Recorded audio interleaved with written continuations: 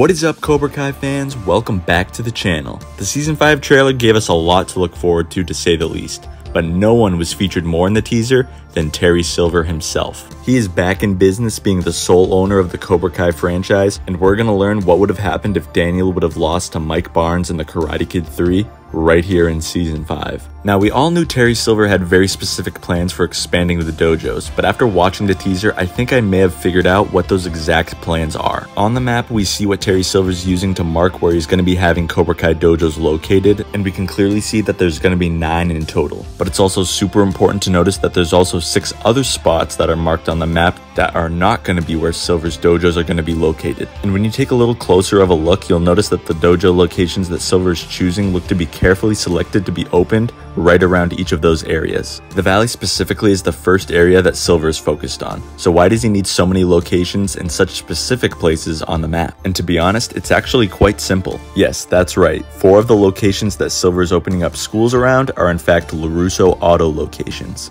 Because if you remember all the way back in season 1 during Daniel's LaRusso Auto commercial, Daniel specifically mentions that they have four dealership locations located in Woodland Hills, Tarzana, Sherman Oaks, and North Hollywood Come Visit any of our locations in Tarzana, Woodland Hills, North Hollywood, or Sherman Oaks.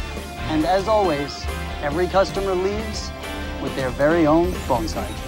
And we all know Silver. He's going to want to make sure that Daniel is completely surrounded and always has to deal with that constant reminder of his loss and how he let everyone down. And it also gives Silver the opportunity to keep an eye on old Danny Boy to make sure that he doesn't play with fire. And as you can clearly see on the map already, four of the locations that aren't that aren't going to be Cobra Kai dojos are located in those exact locations of Daniel's dealerships. You see North Hollywood, there's a location right above there. Sherman Oaks, there's one right above there. The Woodland location hills is a little bit higher up than the sign, and the Tarzana location is going to be just a little diagonal to the Woodland Hills sign. But that still leaves us with two locations unaccounted for that Silver's looking to build around. But I really think that the location in Reseda is most definitely West Valley High School. Because if you look on the map, it shows that the location is right around the Reseda area, and if you remember back in the Karate Kid 1, Daniel also lived in Reseda, and he was able to get to the high school just by a short bike ride. So the two locations that are going to be around the school are most definitely going to be for convenience for the students to get there to right after school. One of these locations I think is going to be the main headquarters that Silver specifically teaches at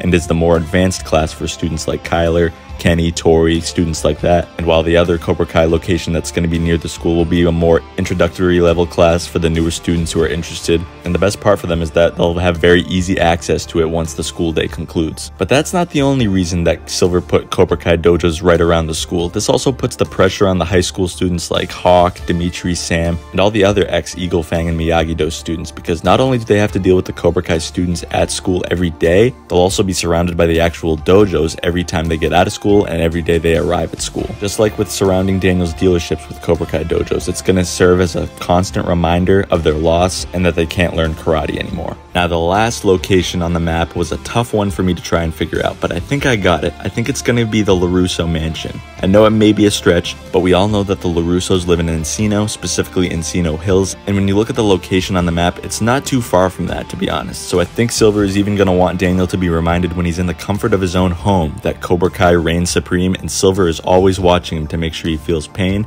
and isn't up to no good. So to recap real quick, we've got nine brand new Cobra Kai dojo locations set up and ready to go, with at least two of the nine dojo locations surrounding each of the four LaRusso Auto dealerships, as well as two Cobra Kai dojos surrounding the West Valley High School and at least one lurking near Daniel LaRusso's house. Terry isn't messing around this season. Season 4 was just a small sample size of what's to come. Daniel may have chosen, but Silver's got the entire valley in the palm of his hands. That's going to be it for today, guys. Make sure you hit that subscribe button if you always want to stay updated on Cobra Kai and Karate Kid's latest news and theories. We've got plenty more to cover in the coming days that you're not going to want to miss. Thank you all so much for watching, and as always, I'll see you in the next one.